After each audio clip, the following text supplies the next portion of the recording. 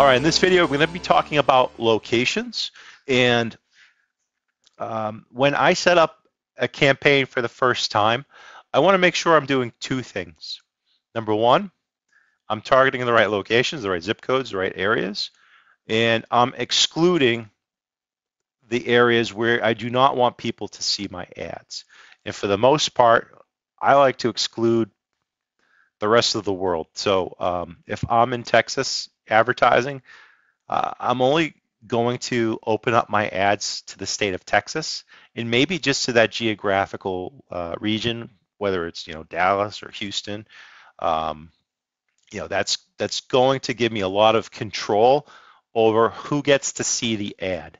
And um, when you set up your account that way and you exclude locations, that can really help you eliminate a lot of uh, unqualified leads. If you've ever picked up the phone and you know somebody called you from another state, there's probably something wrong in here in your location settings.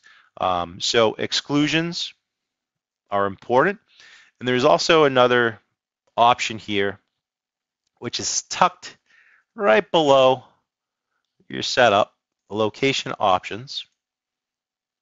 And I recommend that you are targeting people that are in your targeted location. I, I stay away from, for the most part, people who are um, showing an interest in your targeted location. What I mean by that is if um, you know if you're located right now in San Diego, California, and in San Diego you type in Boston plumber and you see a Boston plumbing ad in San Diego, you have expressed an interest in finding a plumber in Boston, and if you see an ad, then that particular um, plumber has this targeting option activated.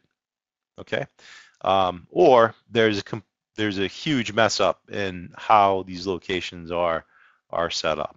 Um, it, this is such an easy thing to set up. It's also a very easy thing to forget. So um, long story short, I'll tell you a quick, a quick, quick one here. Uh, when I set up a huge heating account, uh, it was a Saturday, maybe two years ago, and um, it was like 4 a.m. in the morning. I came in. I knew it was going to take a long time, and um, I had started to work on it. And I like to work uh, live when I'm working on a big account because it helps the account ramp up much faster. And um, basically, just I, I, set up the ad group, I set up the ads, and Starbucks was opening up like 5:36 a.m.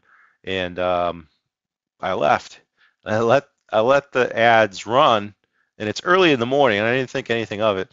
Um, and I had I, I didn't get to the point in my checklist where I had set up locations. So by the time I got back, the campaign had accrued like $1,800 in ad spend in 20 minutes. That's because the ad was running pretty much the entire United States. And um, so, yeah, that was an expensive cup of coffee. Luckily, I was able to get a credit uh, for that mistake. But um, you always want to make sure that you're targeting uh, the right locations. Otherwise, um, it can cost you a lot. Hey, it's Steve with Ad Machines. Thanks for uh, watching my training video. There's a lot more that uh, I have built. All you have to do to, to watch videos just like this one, go to freeppctraining.com. That's freeppctraining.com.